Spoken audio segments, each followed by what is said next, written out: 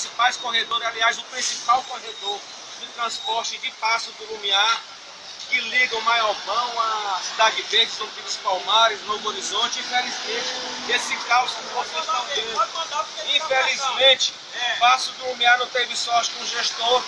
Dutra, que recebe fundo de participação especial, não está nem aí para a população de Passo do Lumiar e a gente sofrendo, as autoridades aí de, de mãos fechadas, de mãos abanando e a população sofrendo. Olha, imagina como não está a periferia de Passo do Lumiar. Aqui, na entrada da Vila Cafeteira, entre Vila Cafeteira e Paraná, está um caos.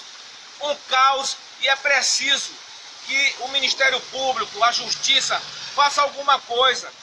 Não é possível tanto dinheiro vir para Passo do Lumiar e esse caos aqui.